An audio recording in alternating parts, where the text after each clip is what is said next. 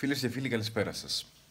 Συνεχίζεται δυστυχώς για άλλη μια μέρα το όλο ζήτημα με τον κύριο Τατσόπουλο και πραγματικά δεν καταλαβαίνω το γιατί, γιατί την απάντηση θα τη δώσουν τα δικαστήρια ούτως ή άλλως για το ποιος έχει δίκιο. Αλλά ε, έχω μια απορία.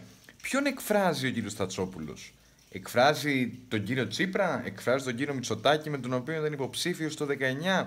Ποιον απηχούν οι θέσεις του ότι για το Άγιον Όρος, για το Βατοπέδι που έχει δικαιωθεί βεβαίως και όλες αυτές οι υπόνοιες που αφήνει ποιον εκφράζουν θα μας το απαντήσει κάποιος αυτό το πράγμα σήμερα; Για να ξέρουμε όλοι